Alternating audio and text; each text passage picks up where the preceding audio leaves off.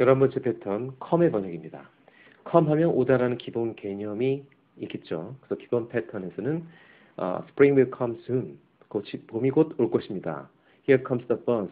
버스가 이쪽으로 온다. 이렇게 오다라고 번역을 하면 되겠습니다.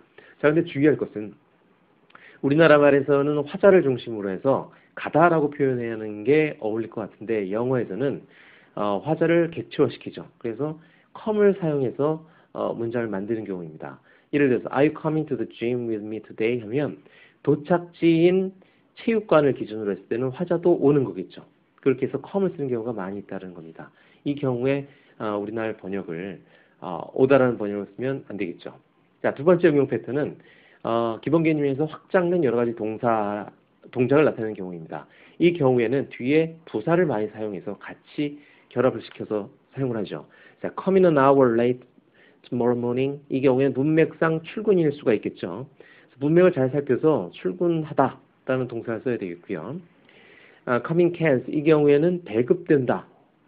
어, 는 어, 솔저 어, 그 군인들한테 배급 나눠주는 거니까 배급된다라는 표현이 어울릴 수 있습니다. 자, 튤립이 come up 한다. 움트기 시작한다. 꽃 같은 경우에는 come up 하는 게 올라온다. English 움트기 시작한다는 표현이 어울리겠죠. 자, 그다음에 아이디어 같은 경우에는 떠오르다 혹은 내놓다라는 표현이 어울립니다.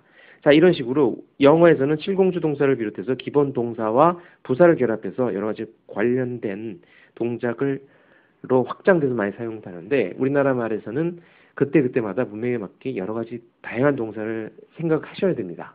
자, 세 번째 심화 패턴에서는 어, 그 밖에 또 확장된 추상적 의미를 어, 전하는 경우입니다. 그래서 급한 일이 생기다 come up, come first, 최우선이다. 아, 그 다음에 come to, 뭐뭐 하게 되다. 예? how come 하면 어떻게는 뭐 이런 식으로 할 수 있고요. come to an end 하면 뭐뭐 하게 되다. 이런 식으로 표현이 가능하게 되겠습니다.